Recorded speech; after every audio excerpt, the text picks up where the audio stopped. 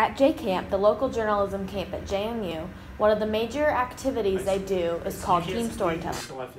So team storytelling is where you come together and like everybody from different strands, like photography, design, media, um, broadcasting, and I think I said photography, come all together and you all work on one main project. So you go downtown and you choose like one big focus. So ours is a staycation in Harrisonburg, which is a great place.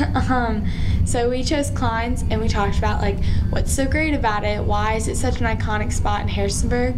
So I think it's just like a way to use all the different skills that you learn throughout the week to make one final product. Um, team storytelling, basically I'm intertwined with all these different strands.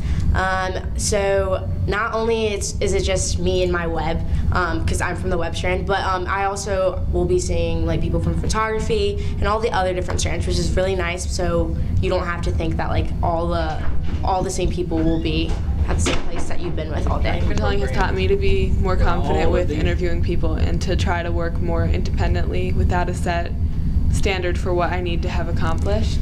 I liked the planning part and just hanging out with my group. Really cool because I've been stuck doing SNO all the time, which is the online websites, but everyone else is using like different other links to do their thing.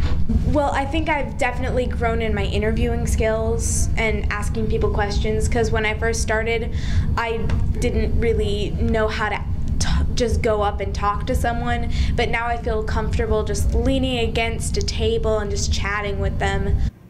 Signing off from J Camp at JMU, this is Abby Gerber.